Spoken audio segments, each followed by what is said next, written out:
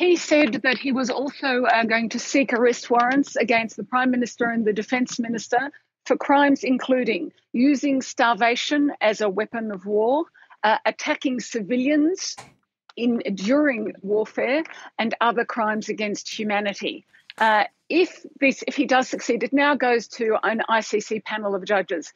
If they do charge uh, the two Israeli leaders, it will be the first time that an ally of the United States uh, has been charged in this way, a close ally of the United States. It's important to say that neither the US nor Israel are members of the ICC, but that uh, Karim Khan says that the ICC has jurisdiction because the Palestinians have given him leave to investigate what happens in East Jerusalem, what happens in the West Bank, and what happens in Gaza. And that occurred back in 2015. So that's what the state of play is at the moment. Um, and we don't yet know if it will happen, but it would be huge if it does.